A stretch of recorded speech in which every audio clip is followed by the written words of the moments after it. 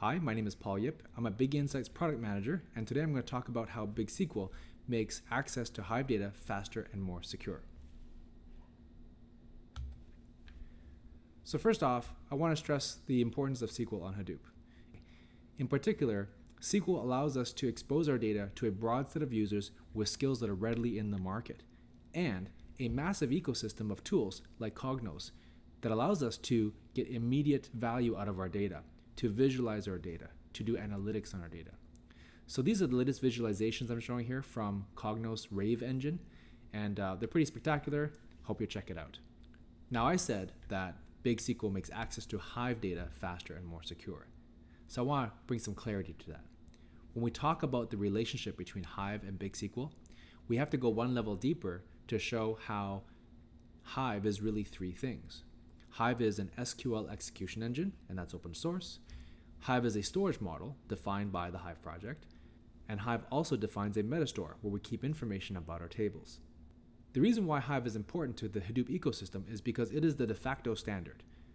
Every distribution includes Hive, and it was the first SQL engine for Hadoop.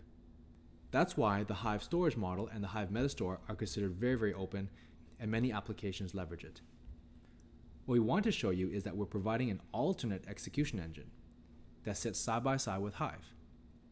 BigSQL provides a native C, C++ engine that runs over the same Hive storage model and uses the same Hive metastore. And so applications just have to choose which execution engine they want to connect to.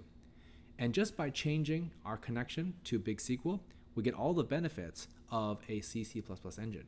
So, okay, why would I ever want to do that?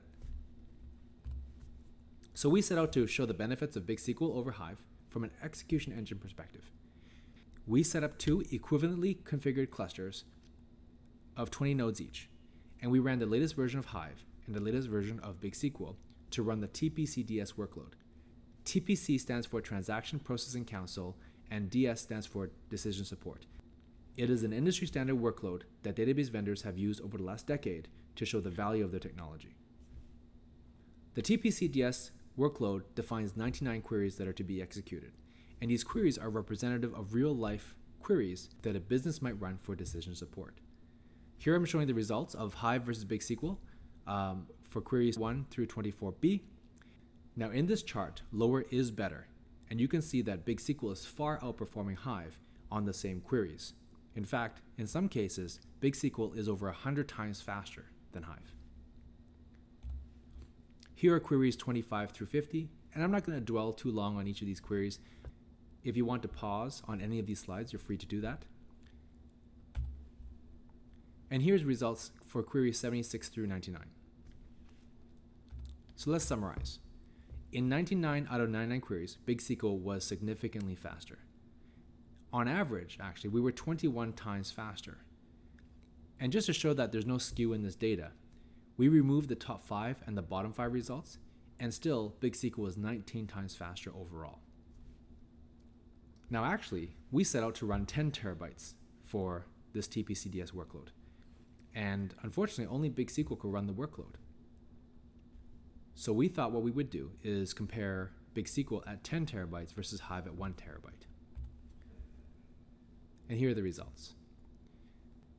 So even though BigSQL had 10 times more data to process over, it was still faster in 89 out of 99 queries. And on average, BigSQL was still 3.8 times faster than Hive. And just to remove skew, taking away the bottom five and top five results, BigSQL was still 3.2 times faster on 10 times the amount of data. So now I'm going to show a demo, one that we originally prepared for the Strata and Hadoop World Conference in New York. This is the actual environment that we set up with 20 nodes for the benchmark. So here we have BigSQL, and we have Hive, and we have a selection of queries that we extracted for this for this demonstration. So we are in a Cognos environment. So here are the Rave visuals that I extracted for the presentation. And so I encourage you to check out Cognos.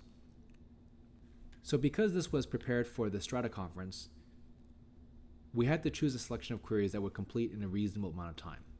So for example, if there's a query that ran 45 minutes, we weren't going to do that in a live demo. Uh, so the, that's how we chose the queries. So here's query number nine for Hive. I'm going to run this.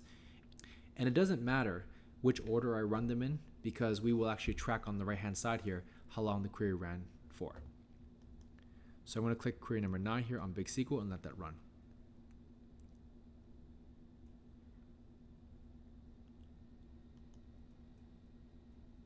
See that Hive is still running.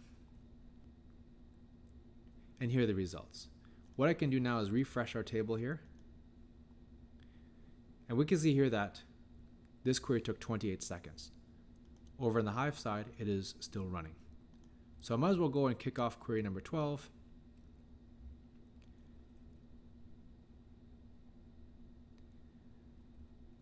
And that query is done. We can refresh this and see how long it took. That one there, there took 5.4 seconds.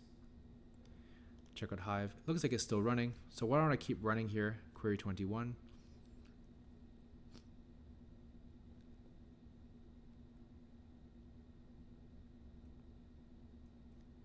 And that's done. Hive is still running. So let's go to 41. And it's done on Hive side. Looks like it's still running that first query. So let's keep going. Let's see where I'm at here. I've just run 41, so let's run 53.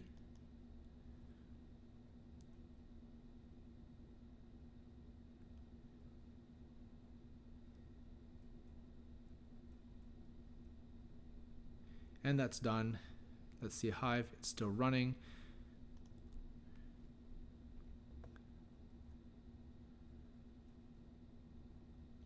And that's done. Hive is still going, so let's go run 71. And while I'm at it, I'm just going to refresh this here to see how we're doing. You can see how quickly these queries are running. 4.2 seconds, 9.3 seconds. And this is over a terabyte of data. And that's done. Let's refresh that. 71 took there 13.5 seconds. Hive is still running. So let's go to 86. Now I'm almost three quarters through my workload and Hive is still running that first query and that almost came back instantaneously. Let's do 90. Check on Hive, still running that first query. And it's done. Let's take a look here. So that took 5.1 seconds. Let's run our last query, 96.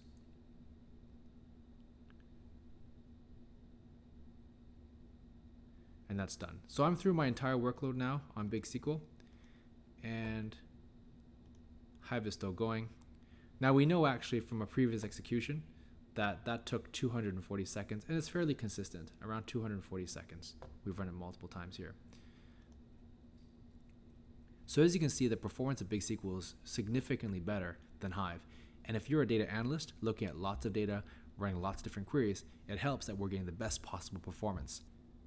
It's also good to know that Big SQL is great with lots of users. We actually did this test on an older version of Big SQL. This is Big SQL version 3. And we're showing here Big SQL running with 96 concurrent users running TPCDS. The other thing we're showing is the benefits of a technology that's exclusive to Big SQL called Workload Manager, or simply WLM. When you have many users running queries against the environment, running short, medium, and long queries, it's important to prioritize the queries based on what resources are available at any given time. And Big SQL has the most advanced workload manager available on the market today. So here we're showing 96 concurrent users running with and without WLM to show the value of Workload Manager.